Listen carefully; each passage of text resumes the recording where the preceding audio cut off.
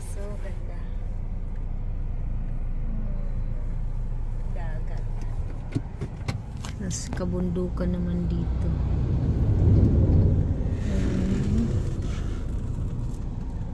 Ito tatawid dito na siya.